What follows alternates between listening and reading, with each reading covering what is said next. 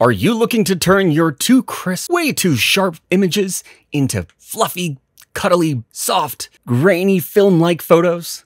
Boy, do I have the answer for you. Wink.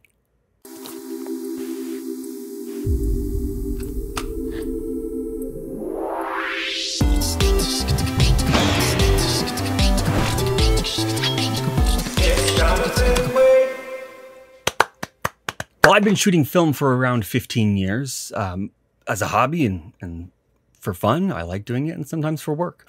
But it's gotten less accessible over the last few years. So much so that digicams have come back around. They're the hot new thing. People are scrambling to get their hands on those CCD sensors, rummaging around in their parents' drawers and and boxes in the attic to find those those early 2000s gems. And for over a decade, pretty much since Instagram filters, uh, we've been looking for you know clean images, how to muddle them up and make it something, make it interesting, make it quirky, make it different, I guess. And, and then there was Visco. VSCO uh, changed the game with their filters and that their their packs, film emulator packs, most of which we would just click through mindlessly until we found the one that felt right. But if everyone's a VSCO girl, is no one a VSCO girl? Enter Dehancer. So Dehancer reached out to me to uh, test out their plugin for Lightroom and Photoshop. They want me to give an honest opinion on my experience. So that's that's what I'm here to do. They gave me a month free in exchange I make this video. I've spent the last month thinking about using it, researching it, watching other people's videos. And today we're going to take a look a little bit at how it works. Let's go. so let's start out with some pros. So it does have some presets, right? Of course, it's like film emulation. So it, it, it's got some pre-built filters in here based off of some film stocks, some that have expired and they'll say expired 2013, very specific. It also remembers your last edit. So if you are trying to apply one look to large batch of photos, you'll have to do them one at a time, but uh, it will remember the last one that you did.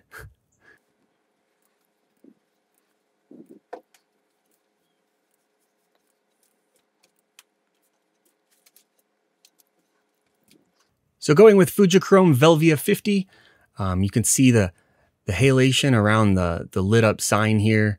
Um, it's got some bloom as well. Um, if we see these yellow lights over here.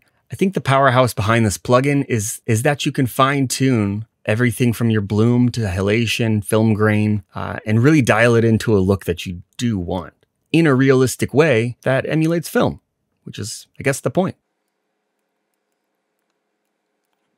Wow. There you go, the bloomiest of blooms. Is this my style? Is this my new style? very cool. And that's about the end of what this plugin does very well.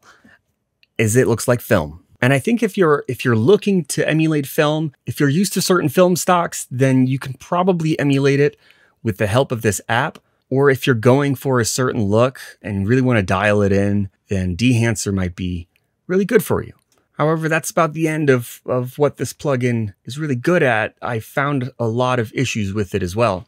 First being that Control Z doesn't work to undo. I have to go over and click this button until I th think I remember where I'm at. Um, I can restore the last use setting. Again, we talked about that, which is kind of neat. Or I can reset everything back to default. Although Control Z doesn't work, they do have these two buttons that you can go up and click. I'm just a creature of habit, I guess. The other way that you can go back to an original status is if you've moved a slider, if you double click on that little slider head, it'll go back to what it was set at, um, either for the preset or back to default. So along with Control Z not undoing things, um, simple things like clicking on the photo to zoom in, um, or or hitting Z also would would get you back there being a plugin for Lightroom, I, I figured that some other shortcuts might work as well. Things like Z, zooming in, or Control Plus also doesn't zoom in. Um, I did find out eventually that if you just scroll over the picture, it will zoom in. Little things like that just aren't as intuitive for me, uh, just because I've been using Lightroom and Photoshop for so long that uh, becomes second nature. And if it's like a pseudo version of Lightroom, then um, I might expect it to do one thing and it, and it doesn't. However, uh, Dehancer is also for Capture One, which I don't use, DaVinci, uh, Premiere, and so so it has a lot of applications depending on which version you've downloaded. It's just I feel like it should sort of reflect the app that you are plugging it into. So once you get everything dialed in, uh, you just hit OK, and it takes you back to Lightroom, but it doesn't select the photo that you just edited. So um, it kind of throws you into nowhere, and then you have to go and search for your edit that you just made. Which mine, let's see. Oh, right, it doesn't transfer over your your star rating. So if you had filtered to all five five star photos, it gives it no no rating. And here it is. Okay, so I'm gonna give it a five star. There we go. So now we have the um, the original here, an edit that I did previously, and then you also have the edit from Dehancer. Now, if we go into develop settings, we can see that there is, is, is no previous edits here. Um, and if I wanted to go back and say edit this in Dehancer Lightroom, I can say edit the original, and then it makes another copy, opens it back up in Dehancer, and then puts that edit on it again. So essentially what's happening is that Dehancer duplicates the photo and then all the edits are baked into it. So you can't adjust anything after the fact. If I wanted to do another edit, I guess I would go back to this photo and say edit in, Dehancer. And uh, it would put your last edit on there. So maybe that was their workaround was just saying, hey, if if we if we have it open up and put the same thing on, then if you messed up, then you can go back and just tweak the settings again. However, let's say it's five months later and I'm like, you know what? I overdid it. I over I overdid it on uh, on this shot. The highlights are all blown out. It looks a little funky. I don't like it anymore. Well, good luck. Now, if you're just going off of one of their presets, I guess that's fine. You can just put the preset on and make your adjustments as you want. For me, I like um, non-destructive edits. And although it does make it on a copy, it's not something I can just go back to in a history of, of, of edits.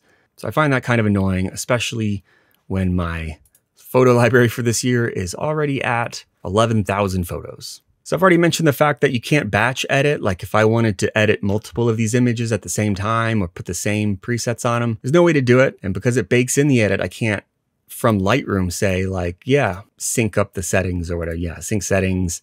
And I can't copy that edit onto here. I could just open it up in Dehancer, wait for the plugin to load, then hit done. But then I'm, I'm also Uh, it's okay, I'm in Dehancer and it's put the edit on, but it doesn't look the same because they're different photographs. And they are taking in different taken in different lighting and everything is different about the photos. Well, there's there's not much I can do about it other than now I have to go in and tweak each photo anyways. So it's a little frustrating there. Add to the fact that on photos that I've taken, say in a studio, like portraits, I already have a workflow that I've used for a long time. So let's say with this photo here, I had complete tr- control over the light. It is a little dark, um, but I would go in and make my normal adjustments and then be like, okay, well, I need to touch things up like um, this line on the backdrop. Maybe there's some other thing on the clothes, like a speck of dust or something. Well, I would I would open this up in Photoshop. I would make my edits. Um, it would duplicate that file, but it's okay because I can go back and edit it if I need to. Um, and then I would do my, my, my color adjustments and make all those edits on that new file um, that I had touched up in Photoshop. So I don't know. It doesn't seem to make much sense. It seems like a tertiary um, editing process where I'd be like, okay, I've done all that. Now let me open up this third thing, make another copy, and um, hope hope that I like the edit that it does.